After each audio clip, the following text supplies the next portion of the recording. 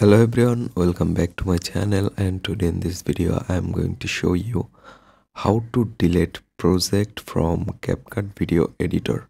So let's begin. So first of all you just need to open your CapCut. And here you can see it's loading. You just need to wait for a few moments for open it